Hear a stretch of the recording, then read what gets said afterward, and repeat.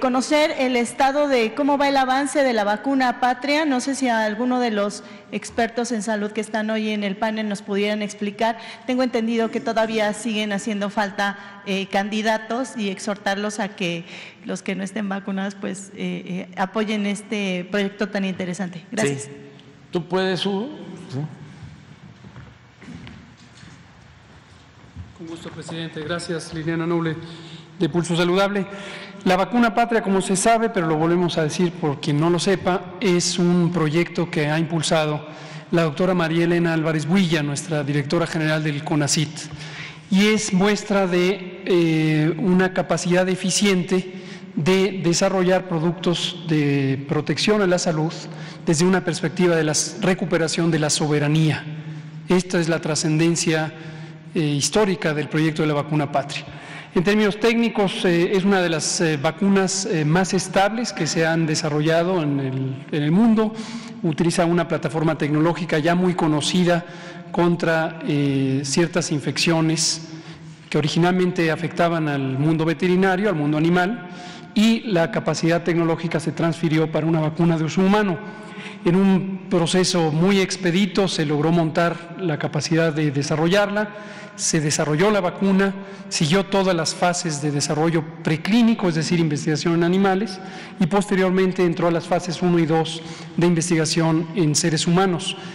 Presentó evidencia de ser una vacuna muy competente, muy capaz de generar protección, inmunidad, y tiene dos propuestas de presentación, una es eh, inyectada y la otra es nasal con ambas siendo de gran protección. Pero la versión nasal, desde luego, es muy atractiva porque en su momento permitirá tener una vacuna sin necesidad de inyección. Hay muy pocas que tienen esta capacidad o que han sido presentadas así. Y ahora está en el ensayo clínico fase 3, que es en la recta final. Este se ha hecho más lento por la sencilla razón de que casi ya no hay casos.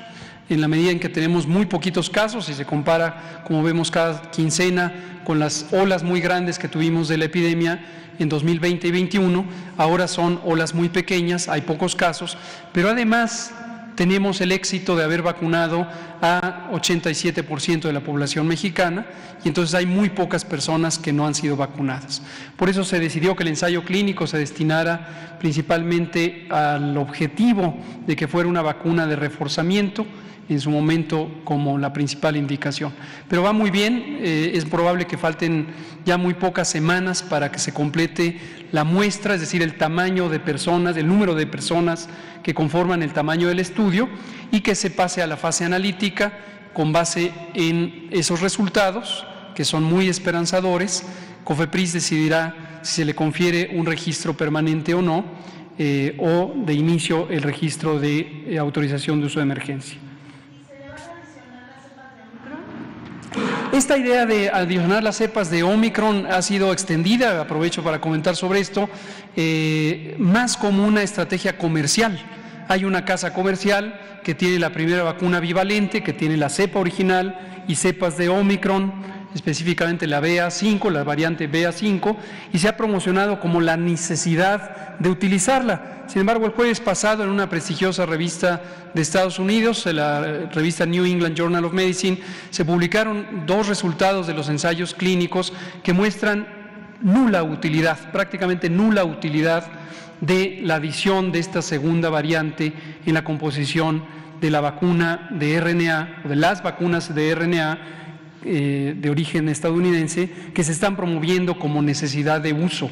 Entonces, hasta ahorita la ciencia no muestra que se necesite tener una segunda eh, elemento en la composición y la inmunidad adquirida por las variantes originales sigue siendo protectora contra la mayoría de las cepas o las variantes existentes. Muchas gracias.